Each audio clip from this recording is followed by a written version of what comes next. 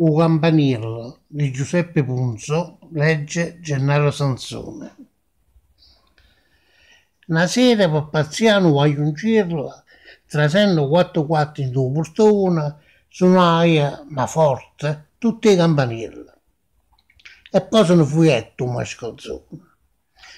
Non è un fatto grave se ci pensa, ma il voto porta certe conseguenze.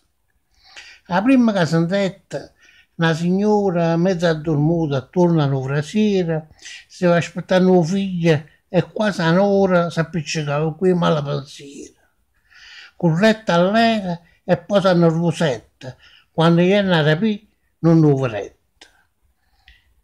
La coppia, al primo piano, aveva deciso il suo dovere come genitore e con parecchi impegni si era messa a preparare un figlio per il Signore.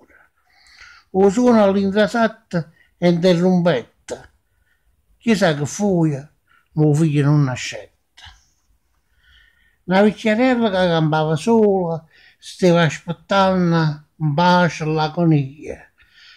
Avesse rasiato una parola di conforto, una poca compagnia. O suona ripigliaia quando lo sentette. Facette un sorriso e se ne è.